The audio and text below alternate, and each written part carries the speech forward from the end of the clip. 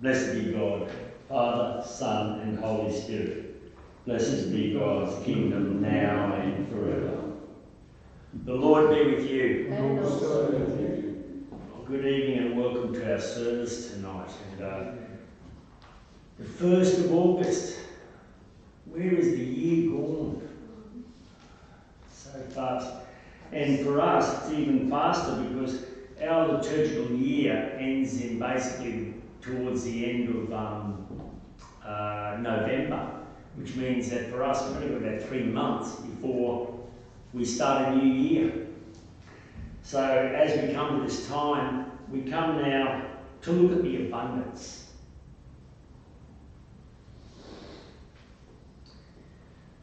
The Lord is near to all who call on him in truth. He fulfills the desires of all that fear him, hears their cry, and saves them.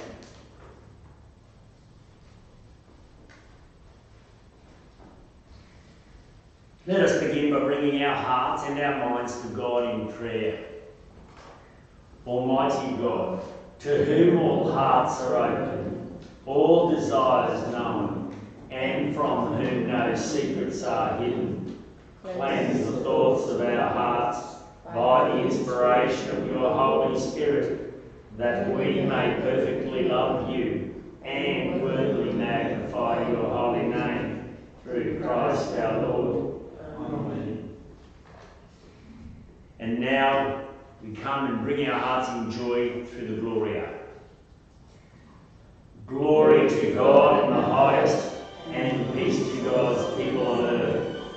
Lord God, heavenly King, almighty God and Father, we worship you, we give you thanks, we praise you for your glory.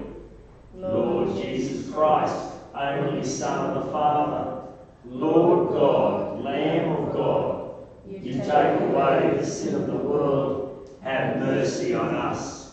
You are seated at the right hand of the Father, receive our prayer.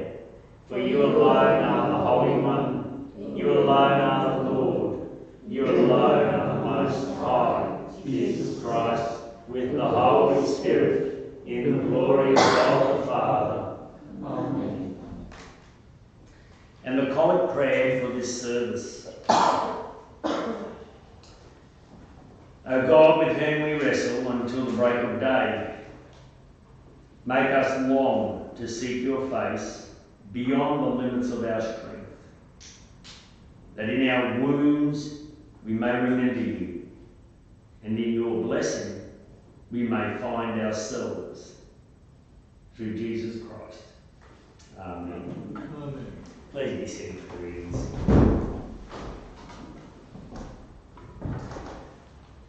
First reading is from the book of Genesis, chapter 32, beginning at verse 22.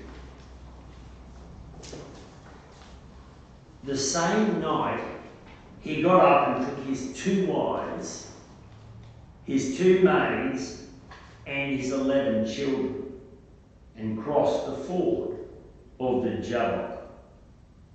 He took them and sent them across the stream, and likewise everything that he had. Jacob was left alone, and a man wrestled with him until daybreak. When the man saw that he did not prevail against Jacob, he struck him on the hip socket. And Jacob's hip was put out of joint as he wrestled with him. Then he said, Let me go, for the day is breaking. But Jacob said, I will not let you go unless you bless me. So he said to him, What is your name? He said, Jacob. Then the man said, You shall no longer be called Jacob, but Israel. For you have striven with God and with humans and have prevailed. Then Jacob asked him, Please tell me your name. But he said, Why is it that you ask me my name? And there he blessed him. So Jacob called the place Peniel, saying, For I have seen God face to face, and yet my life is preserved. The sun rose upon him, and as he passed Penuel, Peniel, limping because of his hip.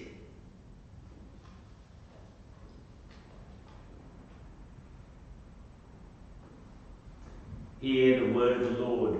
Thanks be to God. The psalm today is Psalm 100, uh, is Psalm 17.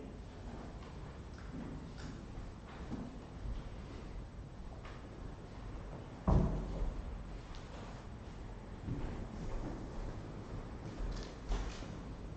realise I don't have a psalm. and that's good.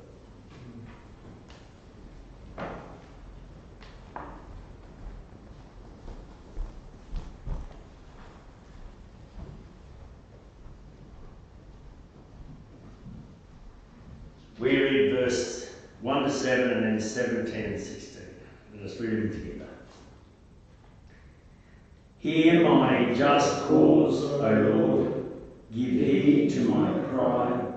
Listen to my prayer that comes from no lying lips. Let judgment for me come forth from your presence, and let your eyes discern the right. Though you search my heart, and visit me in the night time. Though you try me by fire, you will find no wickedness in me. My mouth does not transgress like the mouth of others, for I have kept the word of your lips. My steps have held firm in the way of your commands, and my feet have not stumbled from your paths. I call upon you, O God, for you will surely answer.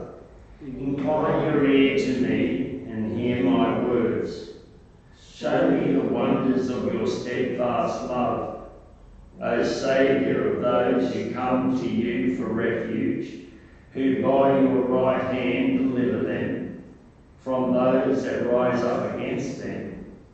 And I also shall see your face because you cause is just. When I awake and see you as you are, I shall be satisfied. The second reading is from Paul's letter to the Romans, chapter 9, beginning at verse 1. I am speaking the truth in Christ. I am not lying. My conscience confirms it by the Holy Spirit. I had great sorrow and unceasing anguish in my heart.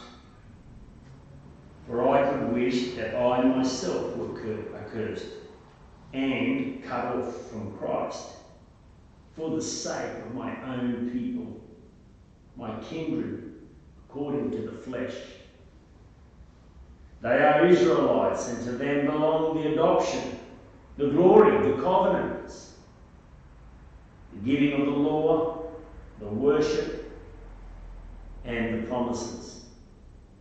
To them belong the patriarchs, and from them, according to the flesh, comes the Messiah, who is over all. God blessed forever. Amen. It is not as though the word of God had failed, for not all the Israelites truly belong to Israel. And not all of Abraham's children are his true descendants. But it is through Isaac that descendants shall be named after you. This means that it is not the children of the flesh who are the children of God, but the children of the promise counted as descendants.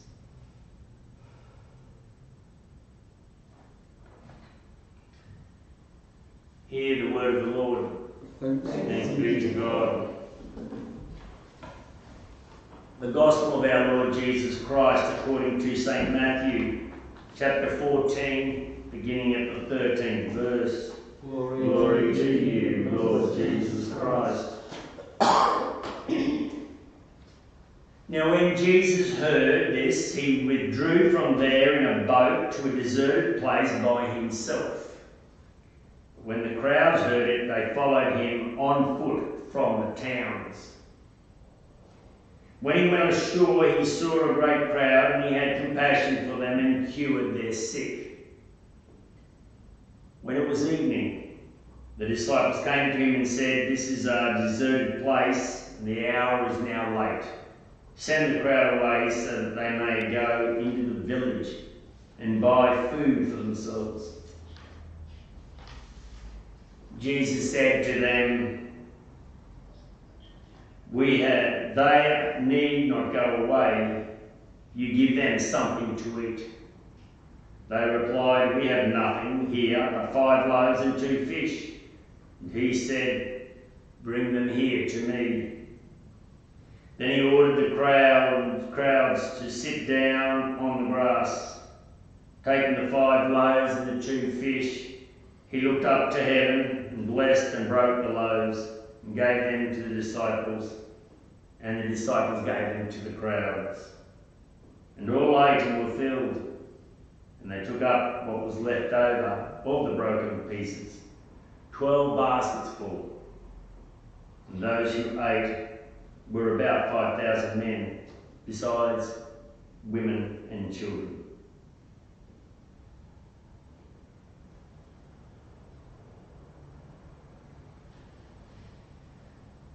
This is the gospel of our Lord. Praise to you, Lord Jesus Christ. May the words of my lips and meditation of our hearts be always acceptable in your sight, Lord our God and Redeemer. Amen.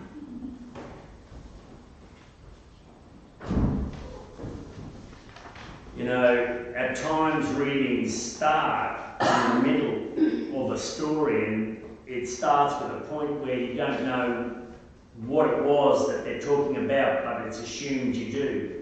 The Gospel's a bit like that. And now, when Jesus heard this, I don't know if it arose in you to say, What did he hear? This particular piece of scripture comes after the arrest and death of John the Baptist. So the thing that Jesus had been told was that John the Baptist was dead. And Jesus went away. I think this is an important part of the reading because there's a, a need, Jesus wants time alone. We believe that John the Baptist was Jesus' cousin. And so therefore there's a sense of which he's grieving his relative. He was a he was a prophet to the people. So therefore he is grieving the loss of a strong spiritual leader. And so he wants to go away and be alone. I think we can all understand that. And I think it's a good, important point of the, what's going up, which is when he gets out of his boat, the people, not knowing why he went away, but knowing he's gone, chase him. Now, when he gets out of the boat, he does not just go, Look, I'm, I'm going to be alone. Is that all right? Can you just go home and leave me alone for a while? I just want time to grieve. I want to be by my thoughts and my feelings. No, he sees this mass of people who have chased him and he has compassion on them. So, his compassion for those who are there suffering is greater than the grief he feels for John's death. He goes and heals them, gives them everything they want. And then night comes, and we've seen him get, it says he heals them. So he's been doing all the spiritual healing, and then the disciples say it's getting late, they need physical nourishment. Send them away to get this physical nourishment. And Jesus says, You don't need to. You give them food. And out of this, Jesus provides us meal. Now, I'm always wanting to try and be broad in my thoughts about the Bible. So I'm always open to hear what people's interpretations are. So I want to share an interpretation. a friend of mine, a clergy, for them in this reading, they believe that as Jesus gave the bread and fish that he had, the disciples and that he gave to them, people were moved and they had food and they shared their food. So what was picked up wasn't necessarily out of the original loaves and fish, but what was left over after everybody shared what they had. Now, it diminishes the miracle a bit. For people who struggle with the miracle, it's a very good way of being able to come to terms with this idea of taking two loaves and five fish and uh, suddenly feeding 5,000 people. That's not possible, but if everybody was moved to share their food, then maybe that was right. I don't want to say one is more right than another because really at the end of the day this is about our journeys and our journeys are a combination of our faith and our thoughts. One thing they say about us Anglicans is we live by the three stools and that is uh, prayer, reading and thought. And so thinking is a very big part of our expectation as Anglicans to be thinkers about the gospel, not just blind acceptors. So I think it's part of a person's journey in their faith. If at their time in faith, the miracle of Jesus feeding 5,000 with five loaves and two fish is hard for them to grasp, and the other belief interpretation uh, helps them and works for them, I'm okay with that. And hope that maybe one day they may get to a point where they believe in miracle. Maybe one day I won't look so nuts to them because I do believe. What was common, though, in there is not just the miracle. One of the things that this parable's about, the story's about, is the fact that Jesus gave without, without care. He gave of his gifts and talents without care. He gave of the food without care he put what he saw as the need before his own. And there was abundance. The idea of the leftovers that are picked up are to tell us that not only was there enough to feed the people who were there, there was more than enough. Yet they worried about being able to feed these 5,000 people. That's what the story of this reading is about. That there is always abundance. Now, Paul, in his letter to the Romans, he's in a bit of distress. Firstly, he wants the Romans to know that everything he's been telling them, which was a bit hard to understand, I believe, and also a bit wild, he says it's true. I'm not lying to you. Believe me. But then he goes on to this thing that he's in pain. He would like to be accursed. He would be willing to give up his relationship with God for his fellow brothers and sisters of the flesh, the Israelites. What draws him to make this declaration to the Romans? Well, see, there was a sense at which the Israelites had lost their relationship with God through Christ. Because they had depended on their physical, biological connection to Abraham to be their justification for being blessed by God. And for Paul, this is a great grievous point because he knows that there are Israelites who are so caught up in their biological connection that they are not open to hearing the story of Jesus, to his gift, to receive it. And he mourns that loss. I think it really is important for us to understand how important to Paul his Jewishness, being an Israelite, was to him as a life. That he, they were going to lose their relationship with God and their place in his kingdom grieved him greatly. That he was even willing to lose his own faith if they would gain it. In this, he goes on to explain to the Romans that it is not a biological connection that made people the descendants of Abraham. God did not pick Abraham because he was biologically connected to anybody. He picked Abraham because Abraham had a faith. A faith that would follow God wherever God led him. The descendants of Abraham are anybody who has a faith like Abraham, a willingness to follow God wherever God leads. We count ourselves as descendants of Abraham not because we are Jewish, not because we were biologically connected to Abraham, but because we accept the promise that God made to Abraham and to us through Christ and we are willing to live by what we're asked to do. Now, Abraham was asked to go and blindly to a new country, and for doing that, he would receive land, a great nation, and the world would be blessed through him.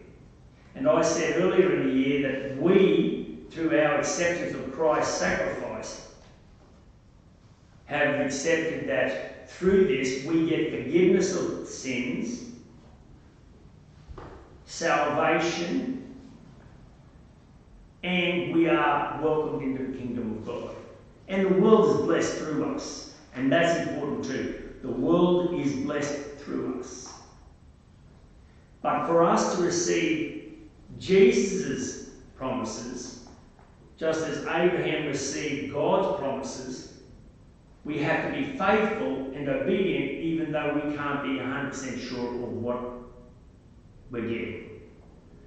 So we have to be faithful to the fact that we're forgiven our sins, we are given salvation, and that there is a heaven and we will be welcomed into it.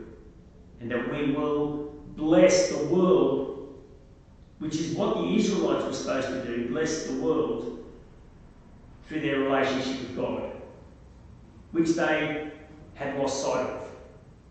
They actually kept their faith to themselves and were not very open to letting other people in. So, what do we learn from this? Firstly, there's abundance. God has no limit. God wasn't limiting his faith to the Israelites. The faith that God gave to Abraham, he gave and promised to the world. It was not just limited to a small crowd. Anyone can have it, but not everybody wants it. There is abundance. God's love is overflowing. However, we can become like the Israelites. We can be afraid that there's not enough. We've got to hoard it. It's mine. I don't give it to anybody else. Even worse, nobody want what I've got, so I'm not going to share it because why would I share something that nobody else wants? If I was to use an example for that, I would probably put uh, pumpkin. You know, nobody wants pumpkin. If I had pumpkin, I wouldn't share it with anybody because I don't think anybody would want it. And I'd be wrong because there are people out there who love it. Problem is, am I willing to time and effort to find it?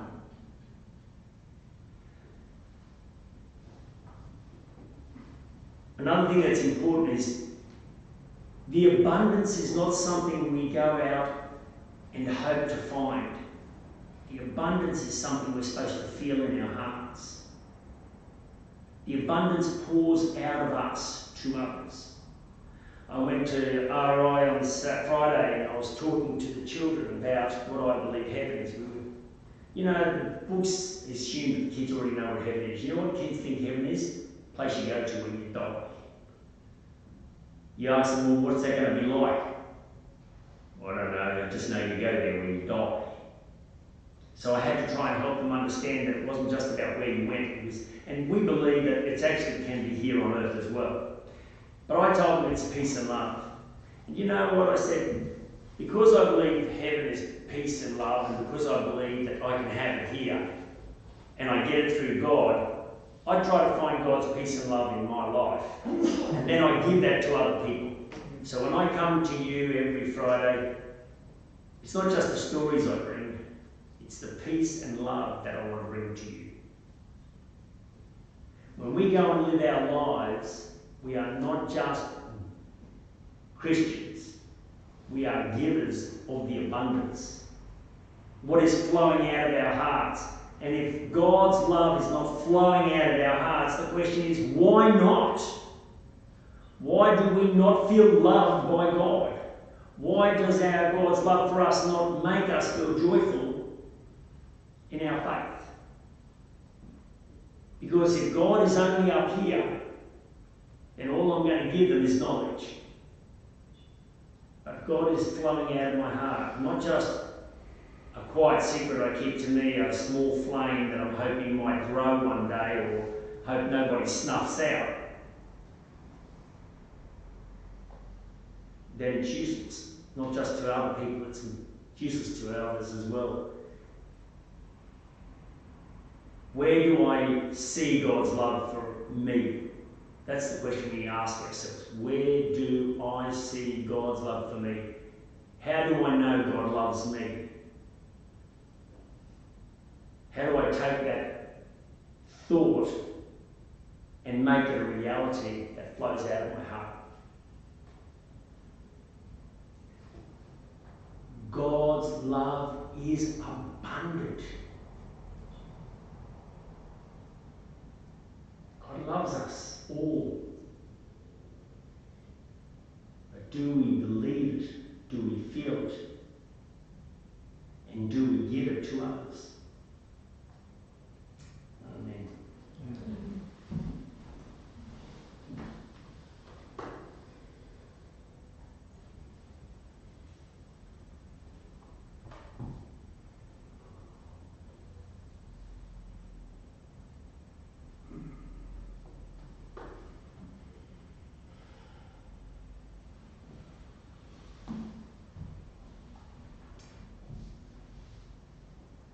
We come to reaffirm as a community who this God that loves us, what it is and why we love Him, why He loves us.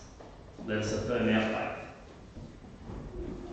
We believe in one God, the Father, the Almighty, maker of heaven and earth, of all that is seen and unseen. We believe in one Lord Jesus Christ, the only Son of God eternally begotten of the Father, God from God, light from light, true God from true God, begotten, not made, of one being with the Father. Through him all things were made, for us and for our salvation. He came down from heaven, was incarnate of the Holy Spirit and the Virgin Mary, and became truly human for our sake he was crucified under Pontius Pilate. He suffered death and was buried. On the third day he rose again in accordance with the Scriptures. He ascended into heaven and is seated at the right hand of the Father. He will come again in glory to judge the living and the dead, and his kingdom will have no end. We believe in the Holy Spirit, the Lord, the giver of life who proceeds from the Father and the Son, who with the Father and the Son is worshipped and glorified, who has spoken through the prophets. We believe in one holy Catholic and Apostolic Church. We acknowledge one baptism for the forgiveness of sins. We look for the resurrection of the dead and the life of the world to come. Amen. Let us now pray for the world, the church, and for ourselves.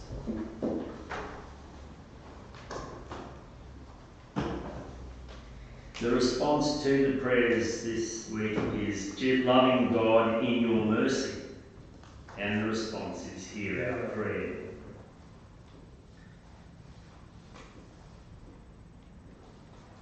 Loving and merciful God, you are steadfast in your love for your people, and you answer us when we call on you. Hear us now as we bring our prayers for your world. We pray for all your people whose lives are threatened by war, terrorism, or disaster, by famine or disease, for leaders of nations, those who govern, those who dispense justice. Lord, we, we pray especially at the moment for all the concerns that are on our hearts at the moment as the COVID 19 has re entered into Queensland. Fears that have now been rekindled, the steps and measures that will be need to be taken. Lord, help us not to let the fears overcome us. Help it not to take over our time and our lives. Long ago, you fed a multitude. Take our small gifts and use them today to feed those who hunger for justice and peace. Loving God, in your mercy, Hear our prayer. loving and merciful God, through your Son Jesus Christ, you bless us and name us anew, making us children of your promise. Hear us now as we bring our church prayers for your church. We pray for all who are fed at your table, for pastors and teachers, and for all who provide spiritual nourishment to your people. We bring the prayer for our parish. Renew in us, O God, the zeal for your love. Let our parish come alive with the power of your Spirit. Where we have failed, forgive us. Where we have persevered, encourage us. Where we are in doubt, direct us. Help us to see new opportunities for witness and service for the sake of Jesus Christ, our Son, our Lord and Saviour. Long ago you fed a multitude. Take our small gifts and use them today to feed those who hunger to hear your gospel. Loving God in your mercy, Hear our prayer. loving and merciful God, your Son Jesus Christ, gathered around him a group of disciples and friends. Hear us now as we bring our prayers for those close and dear to us. We pray for all who live in this city and those who- whose daily work enrich this community. For members of this parish,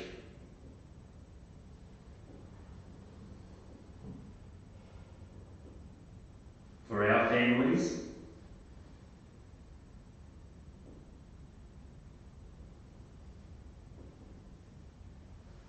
for friends,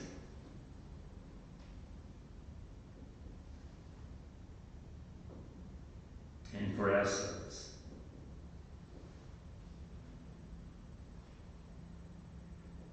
Long ago you fed a multitude.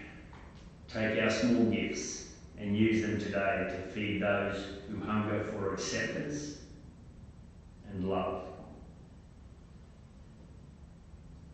Loving God in your mercy, Hear our prayer. Loving and merciful God, your Son Jesus Christ healed the sick and fed the hungry. Hear us now as we bring our prayers for those in need. We pray for all who have no work, no home, no hope for the future. For the sad and the lonely, for the sick and all who care for them. We bring to you today those of our friends and family who are suffering.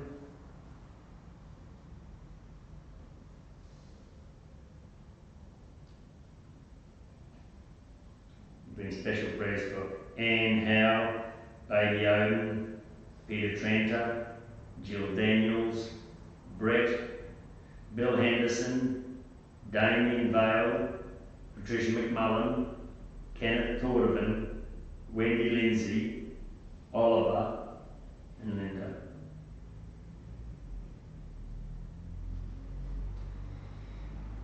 Long ago, you fed a multitude. Take our small gifts and use them today to feed those who hunger for comfort and hope. Loving God, in your mercy, hear our prayer. Loving and merciful God, those who see your face shall be satisfied. Hear us now as we remember those who have passed through death to eternal life.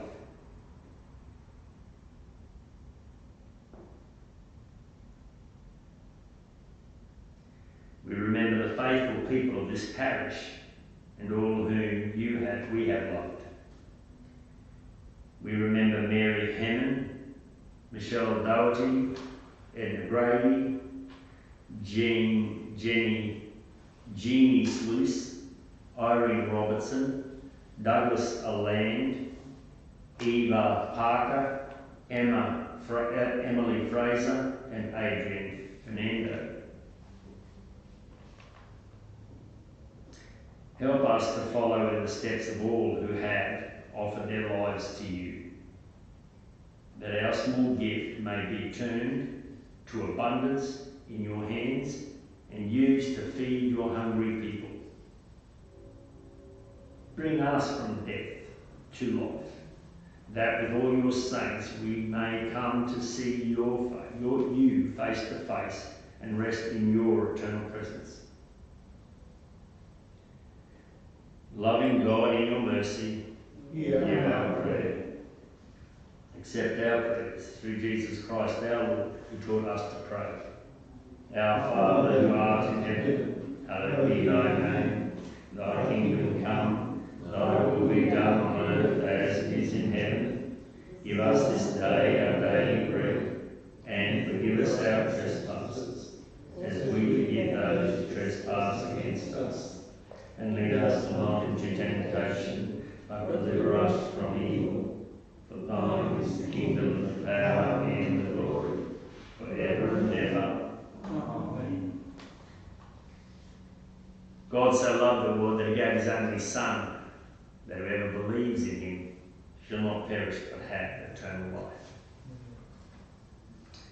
Let us prepare for our confession through the prayer of humble access. Let us pray. We do not presume to come to your table, merciful Lord, trusting in our own righteousness, but in your manifold and great mercies. We are not worthy so much as to gather the crumbs from under your table, but you are the same Lord, whose nature is always run us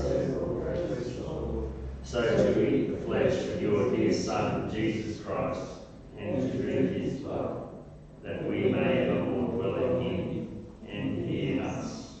Amen. God is steadfast in love and infinite in mercy, welcoming sinners and inviting them to the Lord's table.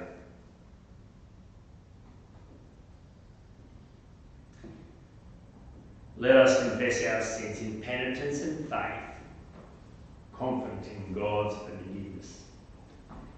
Merciful God, our Maker and our Judge, we have sinned against you in thought, word, and deed, and in what we have failed to do.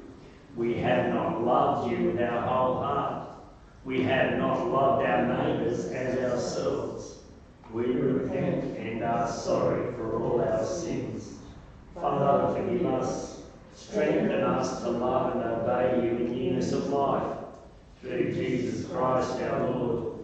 Amen.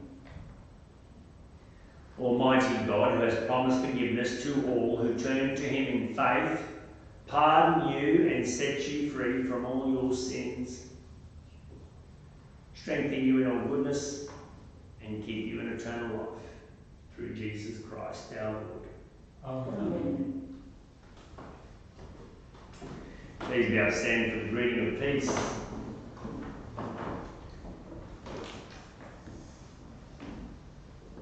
Our faith and our relationship unites us as we share the love that we share with others. We are the body of Christ. The Spirit is with us. The peace and love of the Lord be always with you. And also with you. Thank you.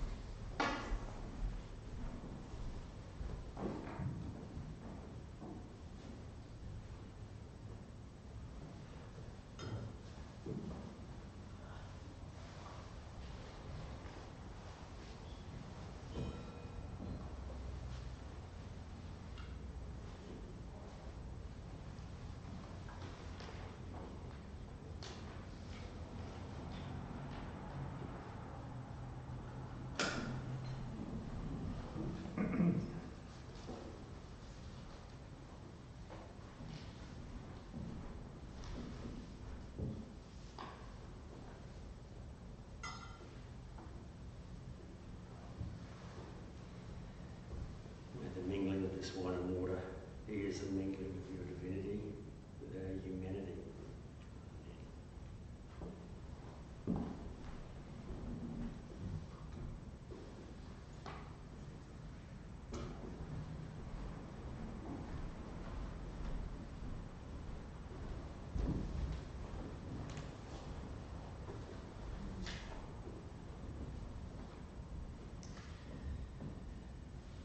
Blessed are you, Lord God of all creation. Through your goodness we have these gifts to share. Accept and use our offerings for your glory and for the service of your kingdom. Blessed be God forever.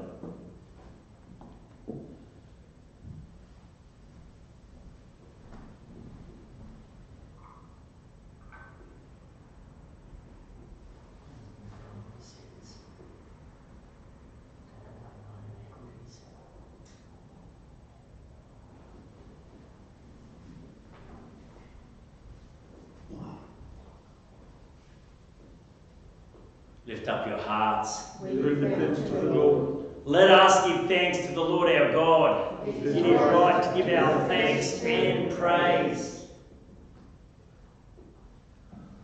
All glory and honour be yours, always and everywhere. Mighty Creator, ever living God. We give you thanks and praise for your Son, our Saviour, Jesus Christ, who, by the power of your Spirit, was born of Mary and lived as one of us. By his death on the cross and rising to new life, he offered the one true sacrifice for sin and obtained an eternal deliverance for his people. Therefore, with angels and archangels, and with all the company of heaven, we proclaim your great and glorious name, forever praising you and saying, Holy, holy, holy Lord, God of power and might, heaven and earth are full of your glory. Hosanna in the highest. Blessed is he who comes in the name of the Lord. Hosanna in the highest. You may sit, kneel, or stand, depending on what your worship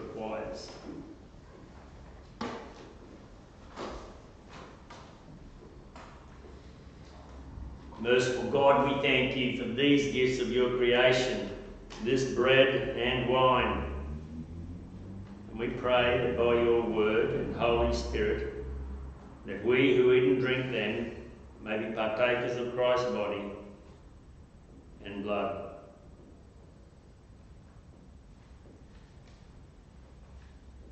On the night he was betrayed, Jesus took bread. And when he'd given you thanks, he broke it and gave it to his disciples, saying, Take, eat. This is my body given for you. Do this in remembrance of me.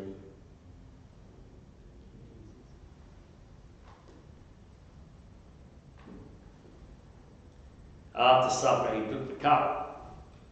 And again, giving you thanks, he gave it to his disciples, saying, Drink from this, all of you. This is my blood of the new covenant, which is shed for you and for many for the forgiveness of sins. Do this as often as you drink it, in remembrance of me.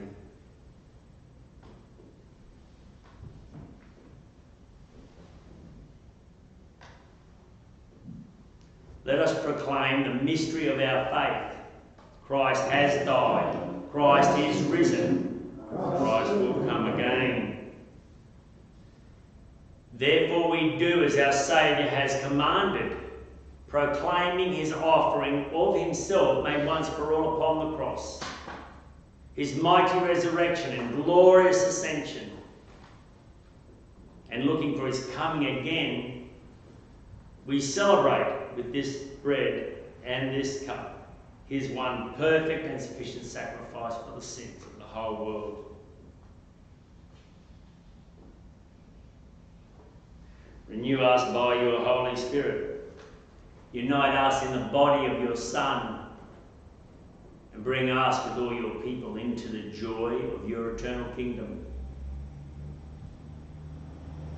Through Jesus Christ our Lord with whom and in whom, in the fellowship of the Holy Spirit, we worship you, Father, in songs of never ending praise.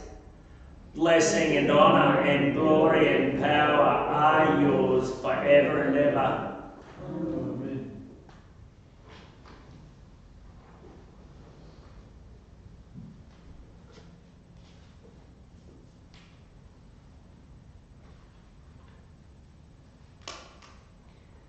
As this broken bread was once many grains, which have, been, which have been gathered together and made one bread, so may your church be gathered from the ends of the earth into your kingdom.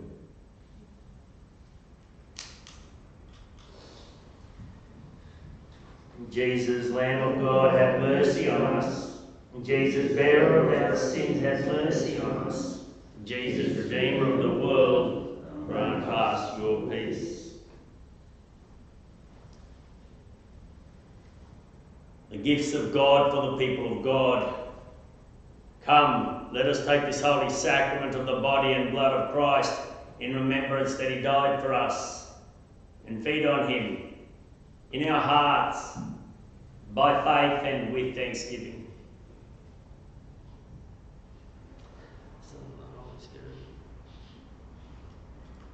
Body of Christ keep me in eternal life. Amen. The blood of Christ keep me in eternal life. Amen.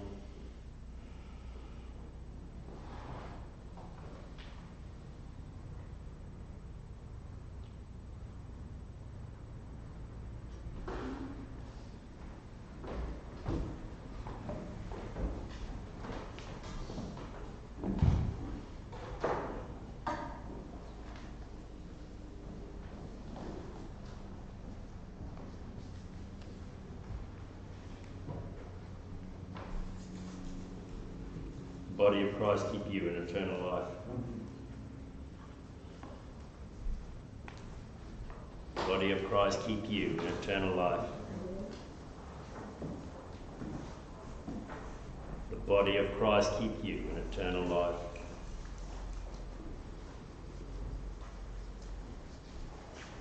Body of Christ keep you in eternal life. body of Christ keep you in eternal life. Body of Christ keep you in eternal life. Oh, may God be with you and Jesus guide you, the Spirit fill you with His love, that we may pour out of you His abundance now and forever. Amen.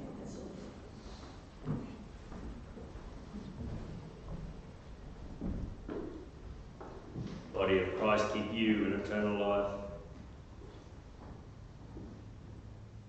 The blood of Christ keep you in eternal life.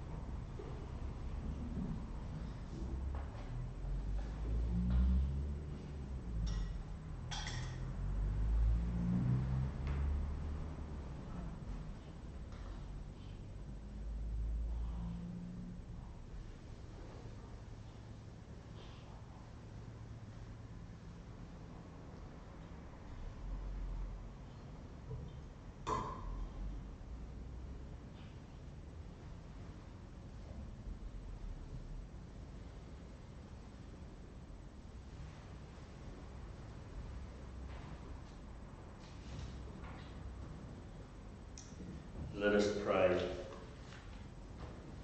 Gracious God, we thank you that in this sacrament you assure us of your goodness and love. Accept our sacrifice of praise and thanksgiving and help us to grow in love and obedience that we may serve you in this world and finally be brought to that table where all your saints feast with you forever. Most loving God, you send us into the world you love. Give us grace to go thankfully and with courage in the power of your Spirit. Before I say the blessing, I want to thank you all for being here and for those who will be watching the service. I hope that you've been able to at least think about the love and maybe experience some of that love during the service. That you go out more open to see the world through God's love, not necessarily through what it deserves, but what God feels for it. Please I stand for the blessing.